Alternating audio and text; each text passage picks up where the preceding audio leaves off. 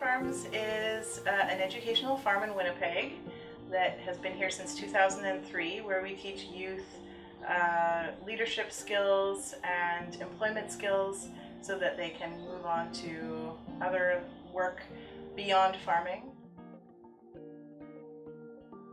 Internship program is a pathway to new opportunities, to um, experiences that you perhaps didn't think that you were capable of.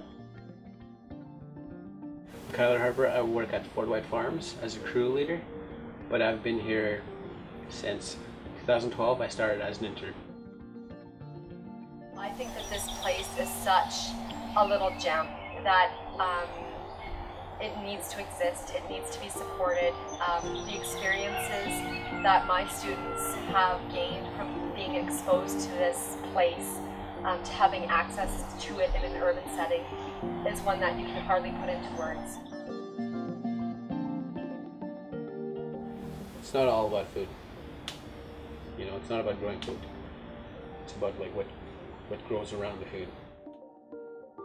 I think everybody out there wants to be a part of something big.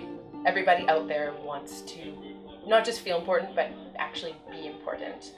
And whether you have a ton of money or you have a little bit of money, you want to make the best decisions with the money that you have. But truly, as someone who's worked in a lot of different areas that involve community development and creating opportunities for youth, this truly is something that is, I always say is revolutionary, but this is a program that, that has an impact without a doubt and will continue to have an impact without a doubt. And you can come if every day and you can see the impact of where your money goes. And that's what makes it really unique and a good opportunity for people who want to be a part of something bigger.